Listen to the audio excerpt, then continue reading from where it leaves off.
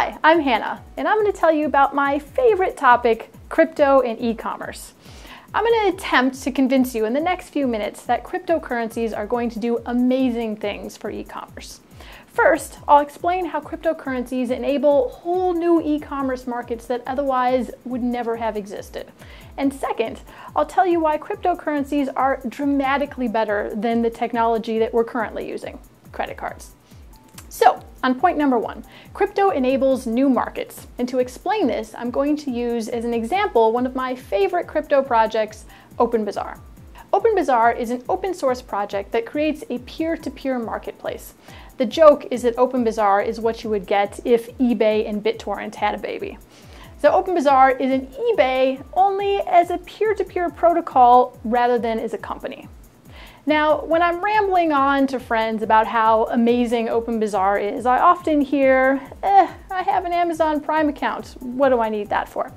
And yeah, Amazon Prime is amazing. But you see, crypto markets like OpenBazaar aren't just about the e-commerce that is currently happening. They're about the e-commerce that otherwise never would happen. For example, let's suppose that you enjoy collecting artwork from around the world. So you're looking for a new piece of art on the interwebs and you find a fantastic piece of art made by an artist that lives in a village just outside Port Moresby in Papua New Guinea. It's offered for sale by a small businessman based out of Port Moresby, and he has a website that says, Hey, just send me a money wire and I'll ship you this fantastic piece of art from the village down the road to me. Now, do you think you're going to do that? Probably not. And that's because you have no recourse if something goes wrong. What if the artwork never arrives? Or what if instead of a four foot wood carving, you get a one foot plastic figurine? Who do you call? Are you gonna go fly to Papua New Guinea and take the guy to small claims court?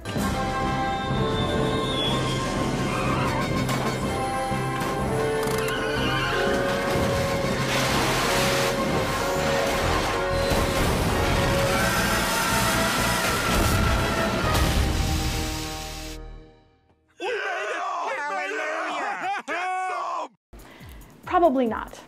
And for this reason, there are millions, maybe billions of people on the planet who we don't do business with because we don't share any third-party intermediaries with them. You see, when you buy something on eBay, you're interacting with a stranger, but if something goes wrong, eBay will help you sort it out.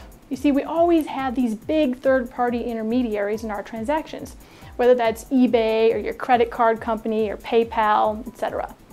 But crypto projects like OpenBazaar, they change this. The OpenBazaar platform has distributed resolution systems built into it. OpenBazaar has what they call moderators who act as intermediaries. But this isn't one big intermediary, it's an entire market for intermediaries. I like to think of OpenBazaar as creating a kind of global distributed small claims court.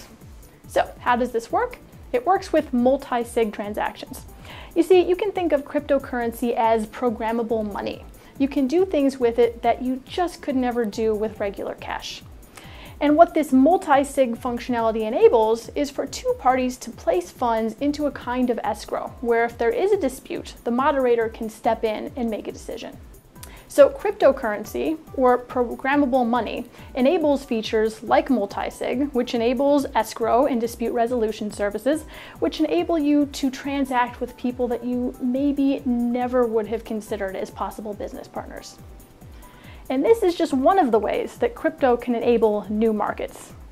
But if you're not yet convinced by the awesome things that crypto can do, then let's look at it from another angle. And I'll explain to you why our current e-commerce payment technology, credit cards, well, I'll be nice and I'll just say that credit cards are a bit outdated.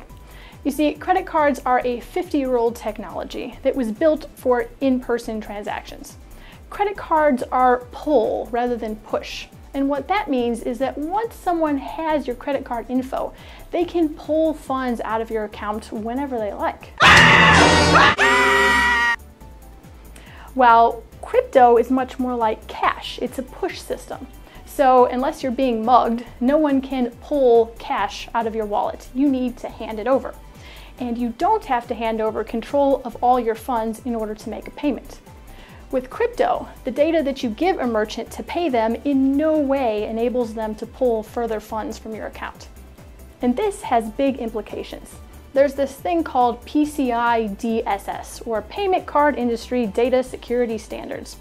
You see, when you're a merchant that accepts credit cards, you wind up with the database full of credit card info that hackers would love to get their hands on.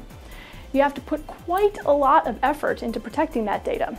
And generally, that data creates such a prize for hackers that it's only a matter of time before there will be a large data theft.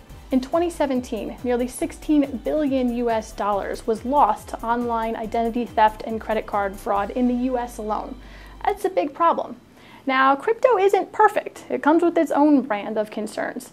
But if we were all using crypto instead of credit cards, well, things like PCI compliance, credit card fraud, the huge merchant server hacks, all of that would go away. So, are you convinced now? If not, I have two more quick points. You see, cryptocurrencies are global. You can use them anywhere in the world, so it's great for international commerce. You don't have to deal with wire transfer fees and exchange rate fees.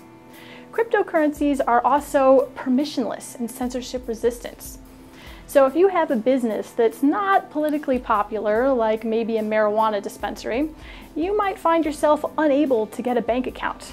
But you can still use crypto because the political approval of a banking CEO is not required to use crypto.